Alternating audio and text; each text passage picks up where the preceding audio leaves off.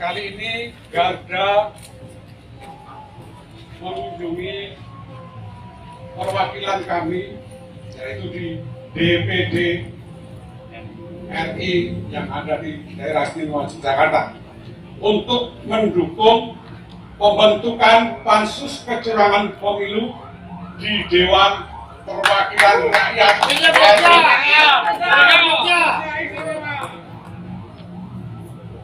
Kami kelompok aktivis yang tergabung dalam gerakan rakyat untuk demokrasi dan keadilan atau GARDA.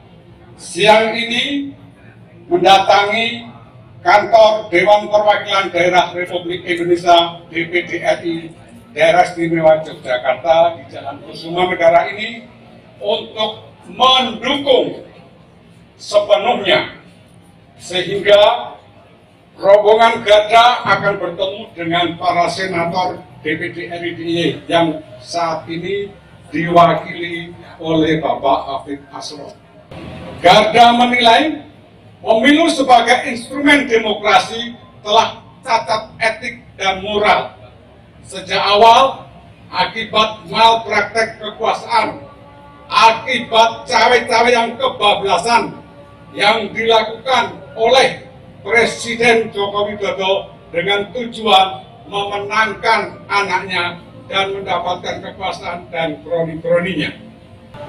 Garda mendesak kalangan legislatif di DPR RI segera menggulirkan hak angket guna mengusut dan membongkar berbagai dugaan penyalahgunaan kekuasaan termasuk politisasi bansos untuk mempengaruhi pilihan masyarakat dan pelanggaran-pelanggaran pemilu.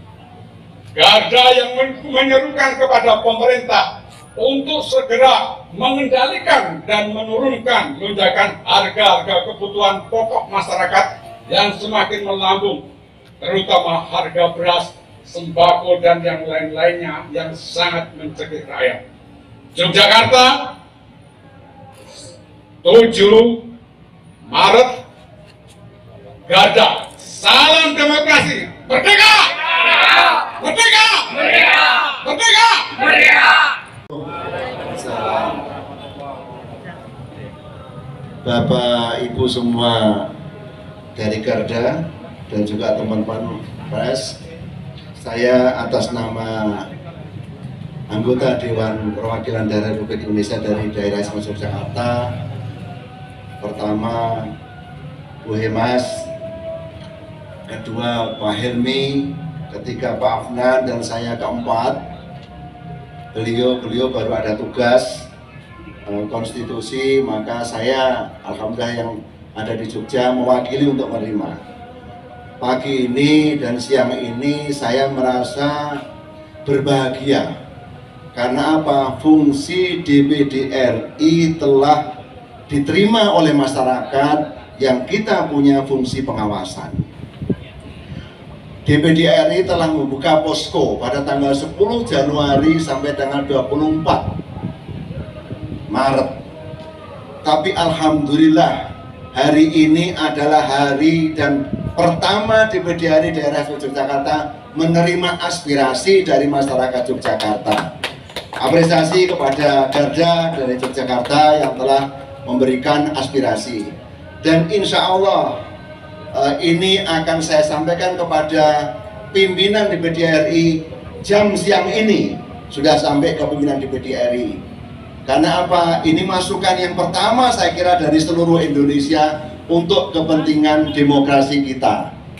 Itu saya kira yang bisa sampaikan. Terima kasih kepada Garda yang telah memberikan support, keseimbangan dan juga eh, kepentingan masyarakat khususnya di daerah Jakarta. Wabillahi taufiq hidayah. Assalamualaikum warahmatullahi wabarakatuh. Tepuk tangan untuk Garda.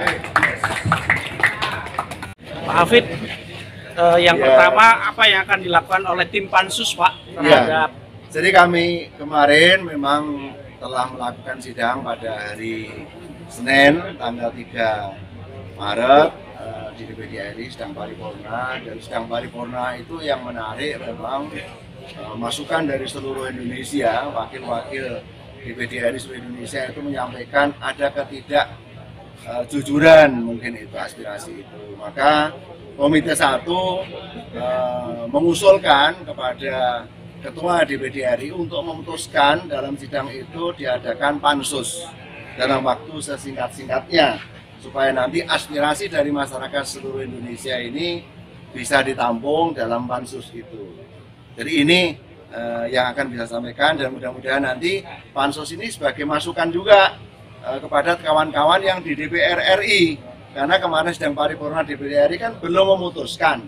Hanya memberi masukan-masukan dan bahkan saya lihat eh, komentar-komentar di medsos teman-teman anggota DPR RI ada yang sebagian menyatakan eh, adem ayem tidak ada hak angket dan sebagainya. Itu sebagian gitu tapi sebagian juga ada yang melakukan semangat gitu oleh sebab itu saya terima kasih kepada masyarakat Yogyakarta yang diwakili Garda telah memberikan aspirasi masyarakat eh, Yogyakarta untuk melakukan support adanya hak angket dan itu eh, pasus pansus yang dilakukan oleh DPD RI mudah-mudahan bisa memberi manfaat untuk kepentingan eh, bersama ke depan.